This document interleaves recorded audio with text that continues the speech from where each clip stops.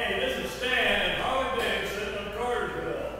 Oh, this is Stan, Harley Davidson Cartersville. I'm going to show you the 2006 Fat Boy. This thing's got shorty pipes on it, brandy wine, low mileage, she's ready to go. Come see me at Harley Davidson Cartersville.